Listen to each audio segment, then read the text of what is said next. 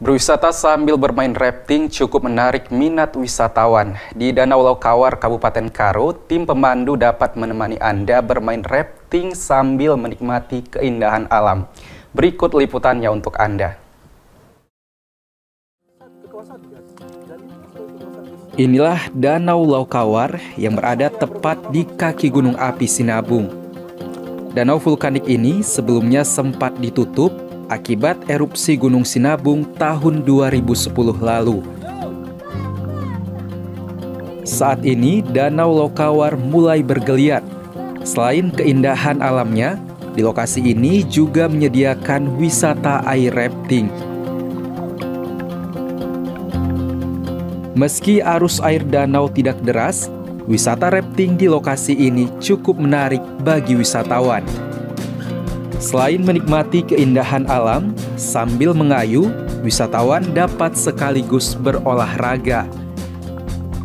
Fasilitas lengkap dan aman pun telah disiapkan oleh komunitas rafting di lokasi ini.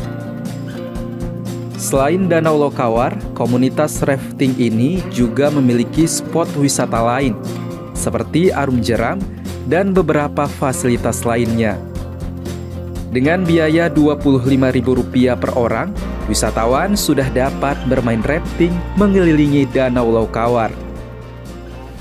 Di Laukawar ini kami bang e, biasa e, membawa tamu, nah gitu bang. Nah artinya untuk tamu semua yang paling utamakan kami sih sebenarnya safety.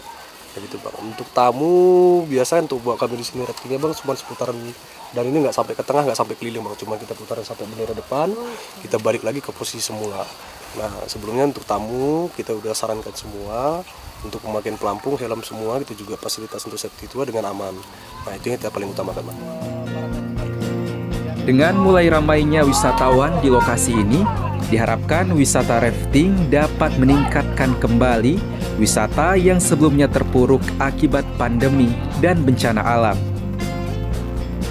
Hendri Setiawan, Kompas TV, Karo, Sumatera Utara.